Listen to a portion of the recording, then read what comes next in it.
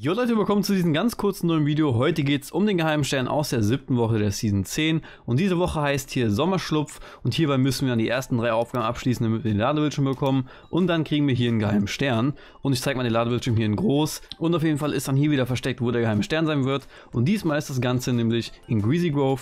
Wir haben hier nämlich abgebildet so ein Taco. Und das soll so gesehen halt ja ein kleiner Hinweis darauf sein. Und deswegen würde ich sagen, gehen wir auch schon direkt ganz kurz in eine Runde. Und dann zeige ich euch, wo der geheime Stern liegen wird. So, jetzt sind wir hier in der Runde und wie bereits gerade schon gesagt, geht jetzt ab nach Greasy Grove. Da hinten ist ja jetzt das neue Greasy Grove. An der Stelle möchte ich gerne ganz kurz sagen, dass es mich mega freuen würde, wenn ihr ganz kurz meinen Creator-Code Detour eingeben würdet.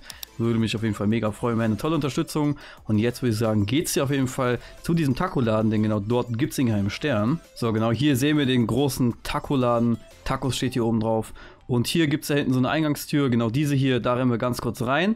Und dann zeige ich euch, wo der Stern sein wird. Einmal hier reinrennen, einmal links hier rum und genau hier in der Ecke sehen wir schon, ist der geheime Stern. Hier einfach suchen drücken, da habt ihr den. Auf der Karte wäre der in Greasy Grove, genau hier beim großen Tagulan. Geht einfach ganz kurz hier rein, rennt hier durch, holt euch den Stern. So, das war's auch wieder mal mit dem geheimen Stern. Lasst gerne einen Daumen nach oben da und abonniert auch gerne den Kanal, wenn ihr mehr davon sehen wollt. Und dann würde ich sagen, sehen wir uns auch schon im nächsten Video. Bis dann und ciao.